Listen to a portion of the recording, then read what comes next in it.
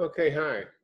Um, what you do, I got my Chrome browser open to your your post on Chief Talk. You go up here to your uh, profile. It's either profile or account settings. Let's let's try profile. Uh, this is unrehearsed, so Okay, that doesn't look like what I want. Let's go to uh, account settings. I think that's probably it. Uh, let's see, display name, other settings, password, signature. There it is. Under pro, under uh, account settings. Okay, and we'll click on signature.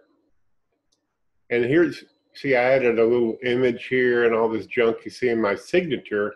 There's my name, uh, what I do or what I claim to do.